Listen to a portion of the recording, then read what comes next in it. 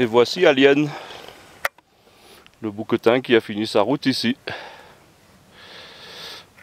tout au fond du cul du Nant. Beau paysage pour mourir.